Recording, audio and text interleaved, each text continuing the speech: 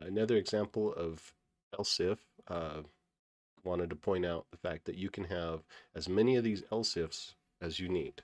So for instance, let's put another condition in here and say else if i is greater than 10,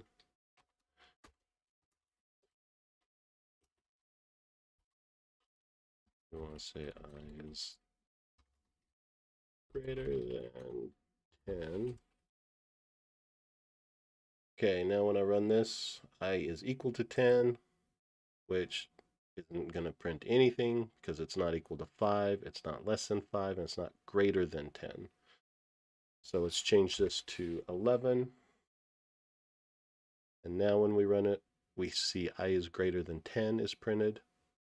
If we change this to, let's just say 0, we're going to see the first else if uh, i is less than 5 printed because it wasn't equal to 5, but it was less than 5. I didn't even check this.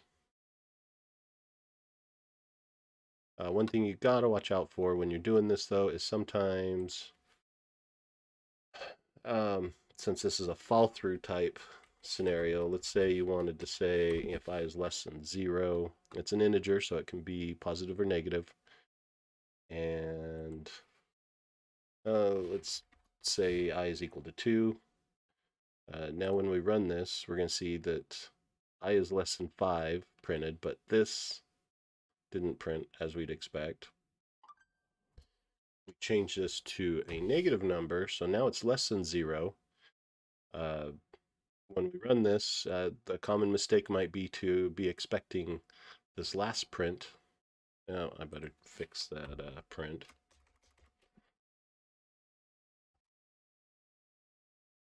Um, because the condition here is if i is less than 0 and i is minus 1. However, when I run this, all you see that's printed is i is less than 5, and that's because this first else if uh, caught it because it was less than 5. And once one of these uh, else ifs executes inside this chain, none of the rest will even be checked. So even though it was less than 0, because it was less than 5, uh, it wasn't checked to see if it was less than zero. So you got to watch out for that.